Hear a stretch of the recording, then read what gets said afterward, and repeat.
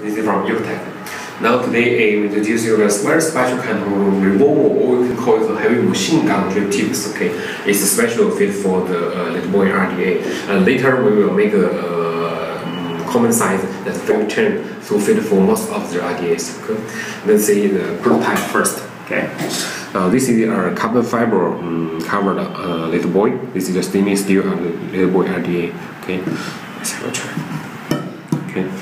First let's do the size. Okay,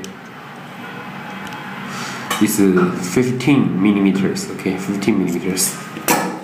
Special fit for the little boy and the size. Okay, here. It's uh, 15, 15 millimeters. Okay for little boy. When you smoke, uh, no, sorry, smoke, no. when you vape it, and the juice just uh, splash out, and it will burn your tongues or lips without any uh, frustration. Okay, with this kind of uh, heavy machine gun, called a revolver drip tip, yeah, the juice will not splash out to burn your lips or tongues. Okay, protects well and uh, awesome appearance. Okay, awesome looking machine gun design. This one only from Eycotech.